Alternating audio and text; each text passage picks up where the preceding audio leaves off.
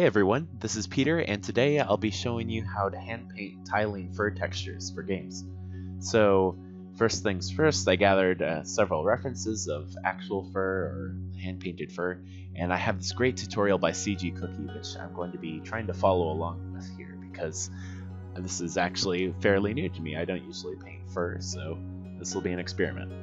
So, we're going to go File, New, 2048 by 2048 document. Um, 300 pixels per inch and fill this document with a, a gray color, just like 50% gray, and begin sketching these vertical curves. So basically, how I've been thinking of it is just you have like these uh, these really stretched out S shapes. The fur that I was looking at was uh, kind of like a, a, polar bear or wolf fur or something. It's very um, it, it's in clumps. It has like these, these little tufts. So um, once you've drawn out just this general shape, then you want to add shadows between each tuft of fur because that's uh, that's where light won't be able to reach. It's those little those little triangles that you see the um, the little divots in between each tuft, and there are lots of different kinds of fur. I've learned. Uh, I didn't think about this uh, too much when I um, before I got into this, but I think that there's like there's some really short fur versus like some really long natty fur. Um, but here you'll see me go filter other offset, um, and that is me uh, checking the tiling, of course. And we've got the it breaks it up into four so you can see the seams, and we'll want to blend the seams together. So that's pretty important to do throughout this whole uh, throughout this whole painting because then that's where you'll see if it's uh, going to tile well or not. And once you're done, you can always filter, offset the texture, and as many times as you need to. Um, but now I am using a soft brush to add volume using just a lighter gray color. So we're not even going uh, anywhere close to white. This is still still closer to 50%, 30% gray. And I am just trying to, to find where the light is going to create highlights on this fur um, and just get a, a general sense of um, contrast here. So, um, like this tutorial by CG Cookie says, you don't want to push, um, you don't want to force the contrast too much because I'm finding that that makes it look pretty fake.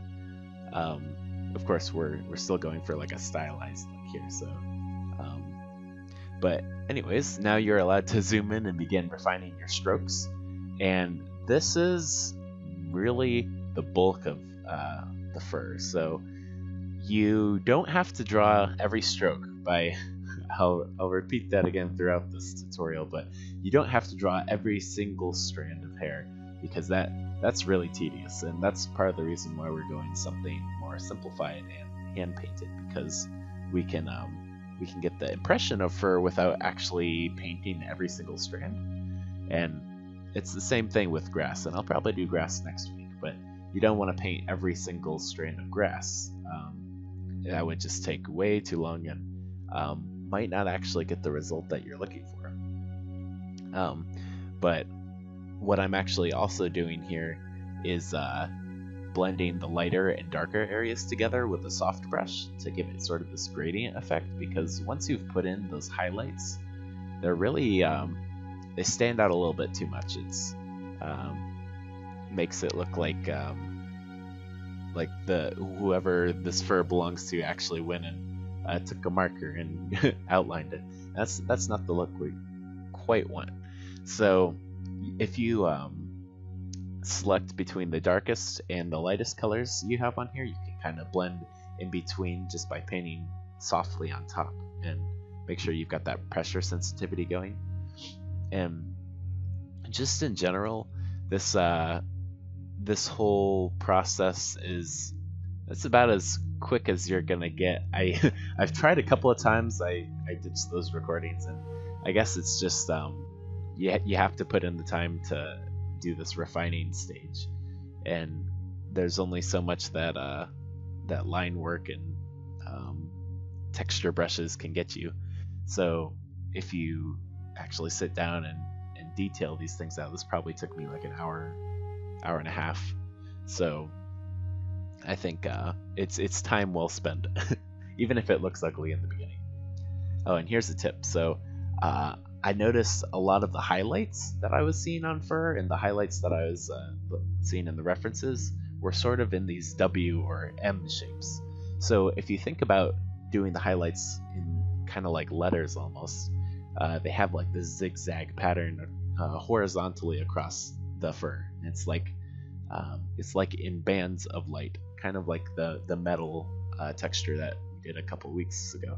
So it's got this um, it still has the sheen going horizontally across, but because it's fur, it's sort of broken up a little bit. So that's, I think, why the zigzag um, seems to look okay. And that's it's kind of tough sometimes because you you might uh, add the a highlight that's too strong, or like you saw me just uh, undo what I uh, painted in there. Uh, sometimes you might uh, cut away into the fur and it doesn't quite make sense. It's okay to be zoomed out and just think to yourself, hey, is this is this working? Because if it's not, then I can just paint over it. I don't want that to to be in the final painting. And uh, you want to blend with uh, strokes sometimes, uh, not just the soft brush. So getting the um, the strands of hair to show in certain areas. So uh, and here's another tip. like I mentioned before, simplify when possible. You don't have to draw every single strand of hair. So I had made the mistake of doing this with grass one time. So I thought um, back in high school I would I would sit down and I would draw every single blade of grass with my pencil. And um, it was it looked pretty good. it looked okay at least in the end, but it um, it just took forever because that's that's a lot of blades of grass. and there's uh, uh, my my professor. Um, I've had several professors tell me that if we just wanted to um, get a good rendering, we would use a camera, right? Because cameras, it just takes a picture for you and you're done. So it's not as important that we draw every single line. It's more of the the feeling that we give the the sense of um, the sense of fur. The uh, it's yeah, it's not about an accurate, uh, 100% accurate rendering of fur. Um, but uh, one of those things that would contribute to that is actually keeping each tuft of fur flowing in the same general direction. So you see, I've I've kind of picked these to be horizontal, or I've picked the direction to be vertical.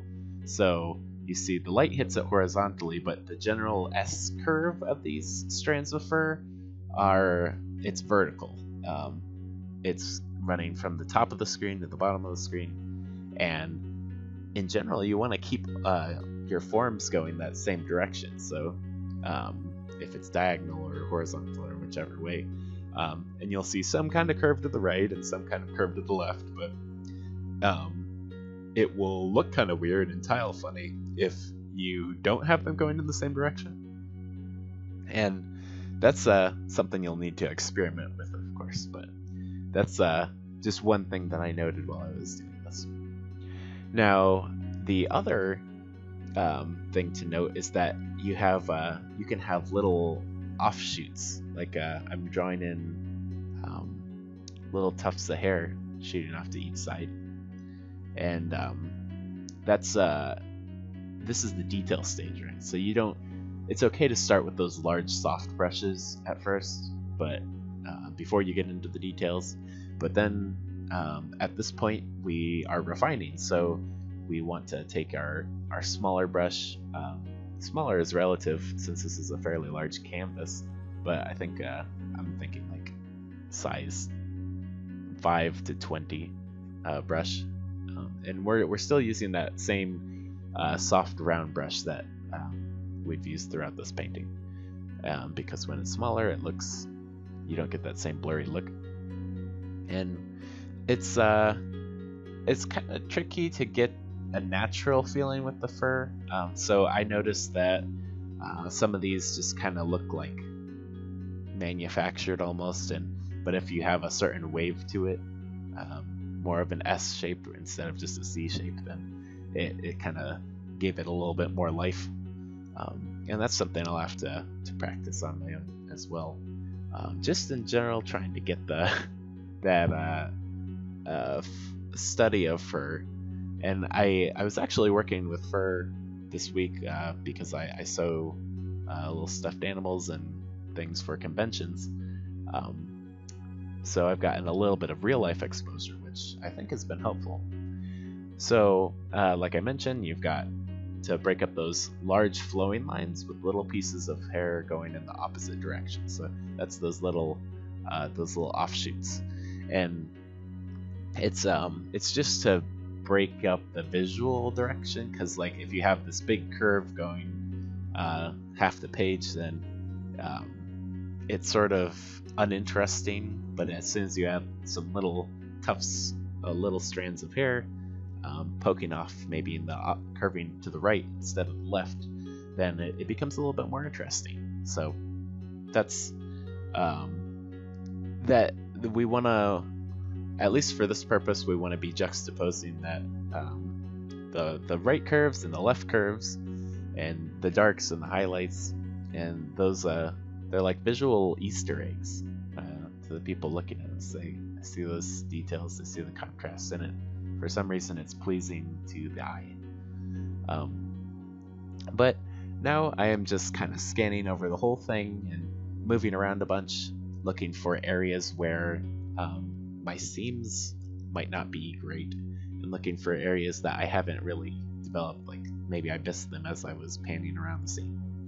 So definitely make sure you you go through and hit those highlights and make sure you've got the a variety of um, a variety of curves and uh, contrasts. So now I'm going through and hitting this with a couple of adjustments, and that'll depend on how you painted it, whether you started darker or later than I did. But um, I actually decided to up the contrast and increase the brightness a little bit. So I um, I think that really made some of the details pop a little bit, and uh, from there, I just decided to clean up some things. I noticed that some of the curves weren't quite uh, as uh, blended as I wanted them to be, or they um, they weren't curvy enough in some cases. So I just kind of went through and got added some contrast, added a couple little line details, and uh, random areas that I noticed needed a little bit of work. And um, now from there, we will actually want to um, create a new layer with a color blending mode because as you've noticed we've work we're working in black and white. So um, you don't have to pick bright blue here or anything. I I thought oh maybe my fur will be blue but um, I actually decided on more of a brownish orange reddish color. And that um that'll be depending on your subject matter but in, in general, just remember this uh, color. Uh, the the blending mode you want is color. At least I found that worked better than hue for me in this case.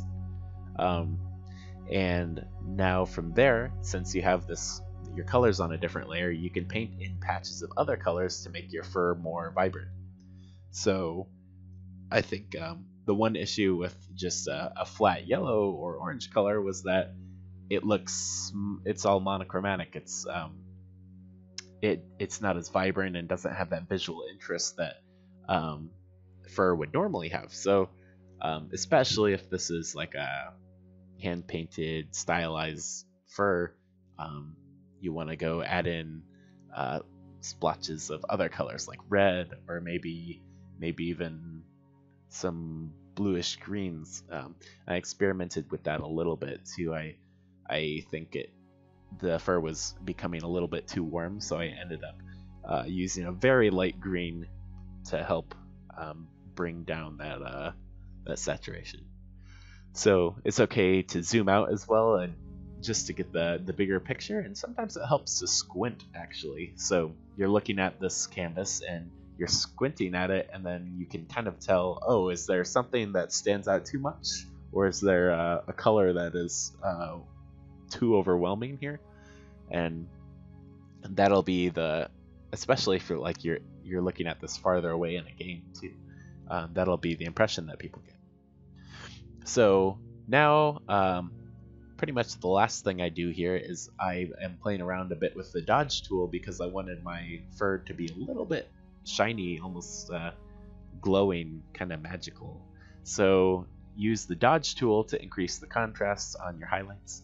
And if you set the um, the range, uh, you see in the top bar, um, right under layer, there's the um, it says highlights. So if you have it set to highlights, um, it'll blast those uh, those brighter areas. And I really only have the exposure set to like 14% because it's it's a the dodge tool can get pretty strong sometimes. So um, you don't want to use a super high exposure. And as you can see, I'm just kind of hitting the the edges and the, the tips really, and thinking about where would the light bounce off in particular. So then I played around with the, I merged everything and uh, played around with the vibrance and saturation and just tried to get the the right feeling that I wanted. Um, then lastly, it was just um, the same thing we've been doing in the other tutorials: edit, define pattern, and um, create a new fill layer with uh, the pattern um, mode, and then you can see how it tiles. But thanks for watching, and uh, tune in next week for another tutorial. Thanks, everyone.